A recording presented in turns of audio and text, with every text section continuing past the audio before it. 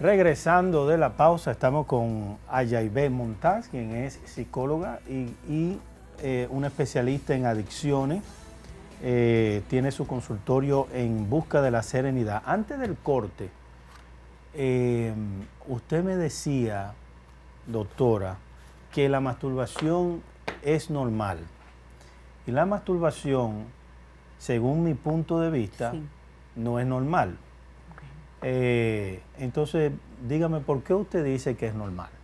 Yo digo que es normal porque el aprender a quererse o el aprender a tocarse es una forma de comunicación conmigo que yo tengo. ¿Qué pasa cuando yo soy un adolescente y estoy en el ciclo de vida de esa, de esa búsqueda de identidad, que es el ciclo de la adolescencia? Pasa que tengo una eh, mayor producción de hormonas y tengo, tengo unos, unos neurotransmisores y hormonas que hacen que yo tenga más deseo sexual. Sí. Más deseo sexual. Entonces, ¿cuál sería la gran pregunta? Porque acuérdate que como, como adictóloga yo siempre me voy ahí por el lado de cuándo es, es considerado un trastorno o cuándo es considerado ya patológico el asunto. Cuando hay problemas de, eh, eh, cuando tú puedes ver si tu hijo es sexólico o si tu esposo es sexólico, eh, se le afecta en su función social. Te deja de ir al trabajo, se aísla y tiene una conducta compulsiva. ¿Cómo se llama una conducta compulsiva? ¿Cuándo te das cuenta? Cuando no puedes parar. Eso es una de las cosas que más he aprendido gracias a los programas de 12 Pasos, que son un programa de autoayuda, que son los programas más exitosos, dicho sea de paso, de conductas y de sustancias químicas. ¿Cuándo yo no puedo parar? Entonces, si un niño de 13 años o un adolescente, porque ya... Hay alcohólicos funcionales, por ejemplo, puede haber un sexólogo, un sexólico eh, funcional, es decir, que todo lo que usted acaba de decir lo hace bien, sin embargo, tiene el trastorno. Lo que pasa es que el control se llega a perder. Porque cuando ya tú tienes una conducta compulsiva, un impulso irrefrenable de accionar en base a una idea obsesiva, entonces comienzan los problemas. Bueno, a ver, eh, la iglesia en el catecismo, por eso tenemos aquí la Biblia y el catecismo. Después de este libro, la Biblia, lo más importante es el catecismo. El catecismo es lo, eh, todo lo que Dios le ha revelado al hombre a través de los obispos. ¿Por qué la iglesia propone una sexualidad sana y propone que la masturbación o el vicio solitario no es algo normal? Porque en los, lógicamente tomando en cuenta la ciencia, porque fe y ciencia no están divorciadas. Exactamente. Nos dice el catecismo en el 2357, si no me equivoco, que el vicio solitario, masturbación, en los periodos de adolescencia es un periodo que se toma en cuenta eso que acaba de decir, que son las hormonas sexuales que inclusive son cuando los muchachos duermen, es que el cerebro las, las, emite. Las dispara, sí. La dispara. ¿Estamos de acuerdo hasta Estamos de acuerdo. La iglesia propone que sigue siendo un acto egoísta, egocéntrico, porque la intimidad genital fue diseñada para ser compartida en el contexto del amor. Fuera de ahí es desorden y fuera de ahí ha provocado mucho caos en la humanidad.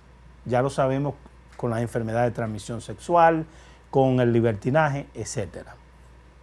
Cuando la iglesia propone que inclusive ese, ese periodo donde el adolescente tiene una inmadurez afectiva, emocional, reduce inclusive la responsabilidad subjetiva, sí, la iglesia lo dice y lo dice el catecismo muy lindo, reduce, sin embargo sigue siendo un acto desordenado que si no tiene control y nosotros como padres nos sentamos con nuestros hijos, mira mi hijo, ya tú tienes 12 años, vas a tener unos impulsos, te va a pasar esto, así como se sientan con las jovencitas a explicarles lo de la menstruación.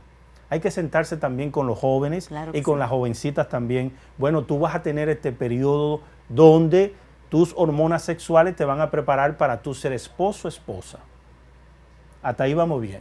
Lógicamente la iglesia prevé y sabe que son unos tiempos muy turbulentos y que va a necesitar un poco de educación y de aplicación para poder tener un autocontrol. Pero estamos hablando en la adolescencia. Estamos hablando de un periodo corto y estamos hablando de educar a ese joven a un autocontrol para que tenga una sexualidad sana. Ya sabemos que hay una relación muy directa con personas compulsivas que drenan su ansiedad a través de ese vicio y lo dejan por toda la vida. Por eso ve personas casadas con vicio solitario aún teniendo una intimidad conyugal normal. Entonces, por eso la iglesia propone una educación sana para tener un juicio sano. Ahora, después que pasó ese periodo, ¿cómo me explica entonces que sea normal un hombre de 30 años masturbándose? No es normal. Y hay hombres que van a mi consultorio a decirme, Fray, yo para dormir necesito hacer eso. Eso es un desorden. Y es un acto egoísta y por ende un pecado. Por eso, porque es inmoral. Sí. Sin embargo, con esto eh, hay que tener mucho cuidado. Hay que educar a nuestros hijos a una sexualidad sana, a la virtud de la castidad como nos propone la iglesia. Hay también, si no hay una educación de autocontrol, vienen las otras drogas. De Facebook, vienen las drogas de, de la pornografía, que ahora la pornografía se ha vuelto la educadora sexual de nuestros hijos. Y eso es un crimen. ¿O usted está de acuerdo con que, con que nuestros hijos se han educado con la pornografía? Claro que no, claro que no. y es increíble cómo las imágenes sexuales pueden moldear el cerebro para convertirlo en, un cerebro adicto. Ese es el peligro de todo, de todo eso que tú me estás hablando. Al final la adicción de la, de la adicción, como se define, es una incapacidad de controlar el consumo, ya sea de sustancia o de conductas adictivas. Sin embargo, es menester aclarar que hay personas que tienen una eh, inclinación a, convertirse en adicto. O sea, hay un, hay, genéticamente eso está probado.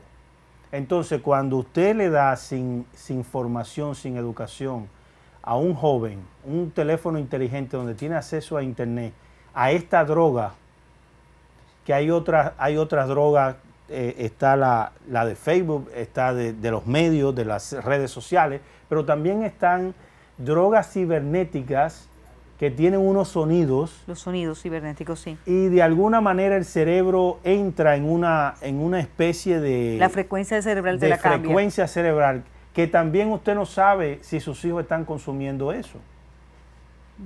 Y no solamente los hijos, sino también los adultos. Porque los adultos de esta generación es que ha sido la perversa y le ha dado a, esta, a estos jóvenes eso que tienen. Eh, hay algo muy interesante. Steve Jobs nunca le dio iPad ni iPhone a sus hijos, porque él sabía que era altamente adictivo. Claro. Esa es otra droga, droga a la pantalla, sobre todo de los iPhone. Esto no es para que ahora usted vote su iPhone, dónelo entonces. Mucha gente quiere tener iPhone. la pantalla nos puede absorber. En realidad es así. Ahora, para los televidentes, ¿cómo, qué, qué, qué consejo le podemos dar para, para ver la, eh, el comportamiento de un adicto? ya sea de, ya sea de sustancia o de, o de, comportamiento. Algo que yo le digo a casi todos los familiares de mis pacientes, de mis pacientes adolescentes, levántese a las 2 de la mañana, vaya al cuarto de su hijo y mire a ver lo que está haciendo. Si se encuentra con que todavía está despierto por una pantalla, hay un comportamiento adictivo. Segundo, averigüe quiénes son las personas con las que su hijo tiene contacto social.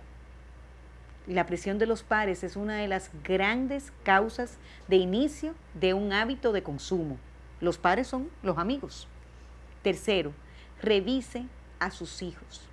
Revísele los bolsillos, revísele la ropa, huélale la ropa, si huele a marihuana, está consumiendo marihuana. Los ojos, lo que se llama midriasis, ¿sabes que Cuando la pupila está dilatada, eso es un signo de adicción o de hábito.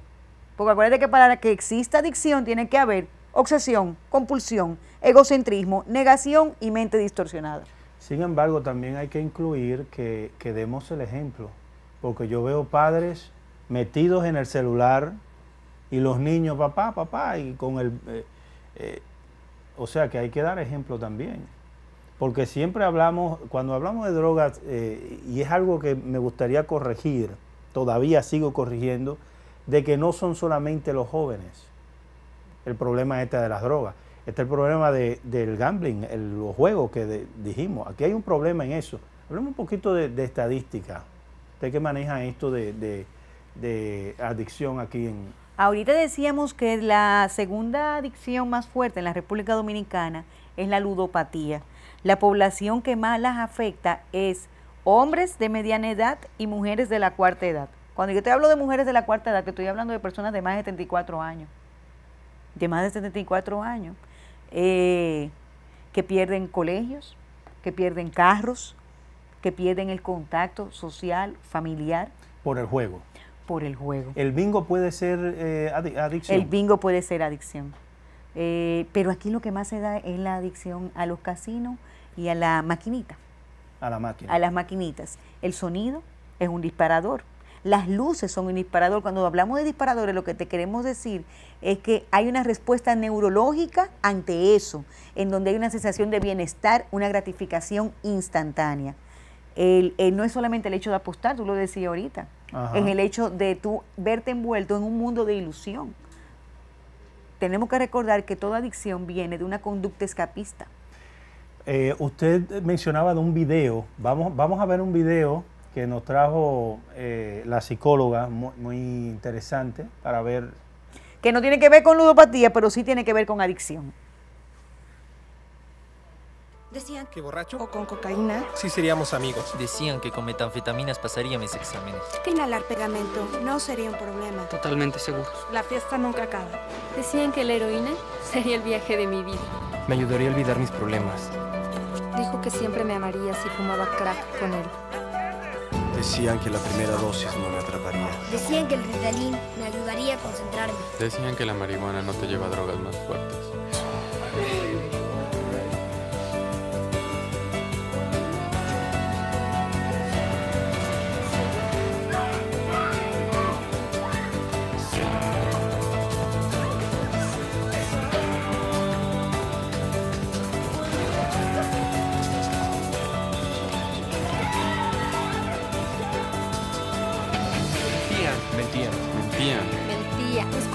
La verdad de las drogas.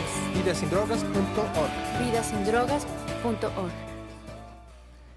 Bueno, y regresamos. Eh, muy interesante la propaganda y se ve una diversidad ahí también de jóvenes y de mujeres y hombres. Ahí siempre se apostaba como que eran los hombres que tenían más adicción que las mujeres. ¿Cómo está eso aquí en, en República Dominicana? Tenemos una población femenina, por ejemplo, en hogares CREA, de, de 43 hogares, eh, que había 49, tuvimos que cerrar 5, de 43 hogares que existen en Juárez CREA, tenemos 3 femeninos. En esa población eh, encontramos algunas 200 mujeres, eh, los demás son masculinos. ¿Qué pasa con la población femenina? No es que no, se, que no sea adicta, no es que no haya mujeres adictas, lo que pasa es que se esconden más, que tienen una un velo. Tú sabes, le da vergüenza ir a terapia, le da vergüenza entrar en un centro de rehabilitación. Y es solamente cuando la han descubierto o cuando ya han pagado muchas consecuencias negativas que inician tratamiento. Esta campaña que pusimos ahora es una campaña que se ha hecho en Estados Unidos y en España en donde te están diciendo que la ilusión de la marihuana, que la ilusión de la cocaína, que la ilusión de la metanfetamina, de la heroína, eh, del éxtasis, eh, es una ilusión. Y, al final no te trae ninguna solución de la vida.